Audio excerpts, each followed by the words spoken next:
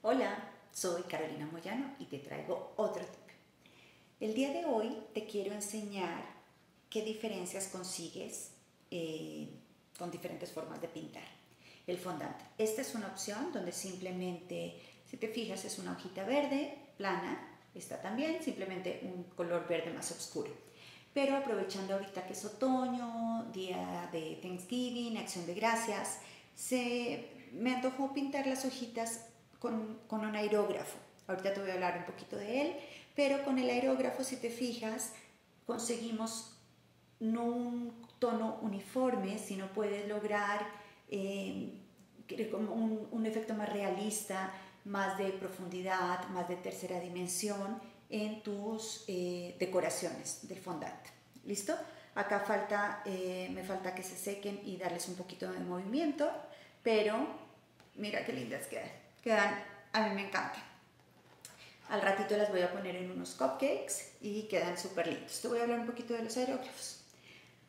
Los aerógrafos, existen muchos tipos de aerógrafo. Los vas a poder conseguir en cualquier tienda, incluso en papelerías o en artículos donde venden cosas de comida, pero tú vas a dedicar un aerógrafo única y exclusivamente para alimentos. No podemos bajo ningún motivo estar mezclando aerógrafos eh, que los uses para otras pinturas y luego lo utilices para comida. ¿Ok? También vamos a tener eh, pinturas de comida, e igual, son exclusivos para este uso. Estos aerógrafos hay gente que los utiliza para que, lo que cuando la gente es artista y que dibuja en la piel, lo pueden hacer. También para dibujar pequeñas eh, figuras o murales o cuadros, también se usan los aerógrafos. Y nosotros los utilizamos en cuestión de alimentos.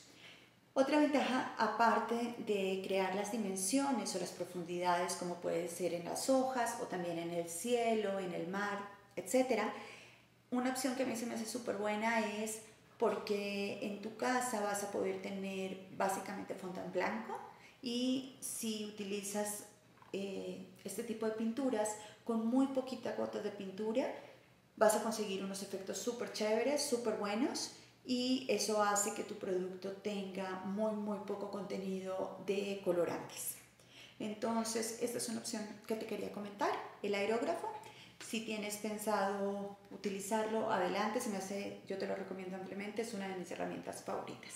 Eh, bueno, ese era mi tip del día de hoy. Si tienes alguna otra duda, por favor avísame.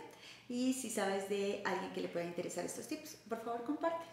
Te lo agradezco y mañana nos vemos para el siguiente tip. Bye bye.